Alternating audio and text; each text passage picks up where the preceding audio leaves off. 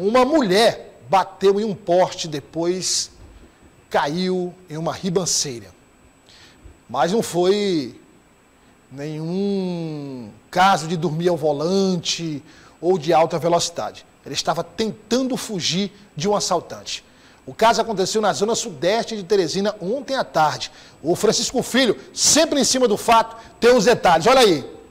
Você olhando a imagem, mas, ah, mas fica com alta velocidade. Ah, dormiu ao volante. Não, ela estava tentando fugir de um assaltante. Na tela. Uma mulher que não teve a sua identidade revelada, por pouco não morreu em uma tragédia aqui na Avenida Camilo Filho, no bairro São Sebastião, no Grande Dirceu, zona sudeste de Teresina. De acordo com informações da polícia, ela estava dirigindo seu veículo quando foi perseguida por um homem em uma motocicleta, anunciando o assalto com um revólver. Aqui, ó, ela acabou batendo nesse porte e acabou capotando o carro nesse bueiro. Nós temos imagens que foram cedidas para a nossa equipe de reportagem no momento exato em que moradores e trabalhadores aqui da região estavam resgatando essa moça. Ela saiu machucada, foi resgatada por populares e atendida por profissionais do SAMU que vieram até o local e em seguida levada para um hospital. O suspeito não foi localizado, mas o impacto foi muito grande. O carro foi retirado no final da tarde dessa quinta-feira. Aqui tem um fio que acabou se arrebentando. Em mais uma ação criminosa que culminou aí no capotamento quando essa moça estava fugindo de um assalto. Ela acabou perdendo o controle, batendo no porte e caindo nesse matagal aqui, nesse bueiro, na zona sudeste de Teresina. Na tela, deixa as imagens da tela. Olha só, volta aqui, ó. Volta aqui comigo para a gente ver. Olha, você acompanha como essa mulher saiu do carro. Você viu aí? Poxa, pelo amor de Deus. Tenha paciência. Uma cidadã, trabalhadora.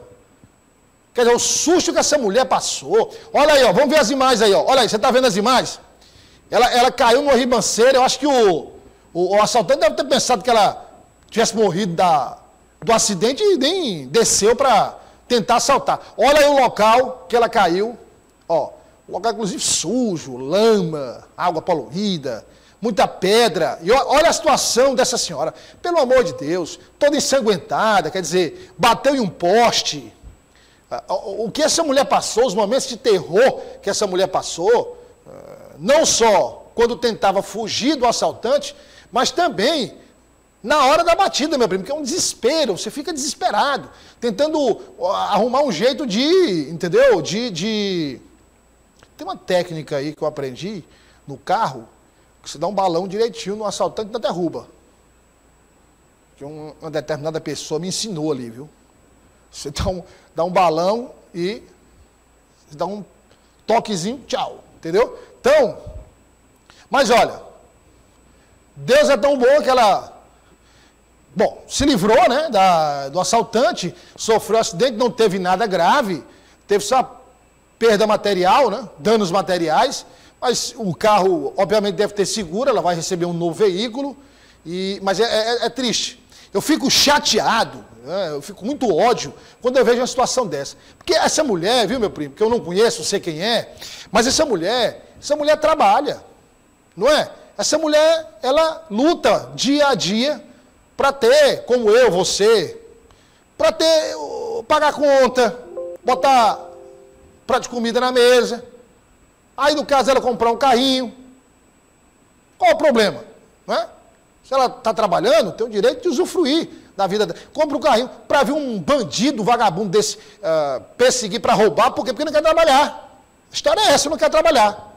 Né? E quer se aproveitar da situação para não é, precisar trabalhar e levar o bem material dessa senhora. Felizmente, não teve nada demais. O Raimundaço está pronto lá, o Raimundaço? Bota aqui, ó. O Raimundaço que foi que aconteceu com o Raimundaço, hein? Pois é, o Raimundaço estava... A história da família e do crime, hein? História da família e do crime.